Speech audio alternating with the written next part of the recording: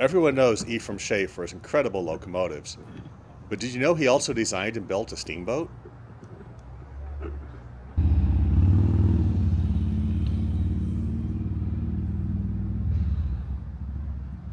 This is the 1891 Aha, one of the world's very first steel-hulled pleasure craft. It's 50 feet long and is built entirely of steel.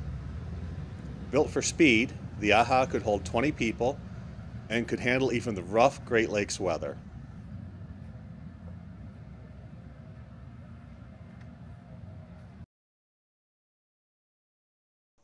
Once, in 1893, she even came to the rescue of the far larger luxury cruise ship Manitou during a storm, leading it safely back to port.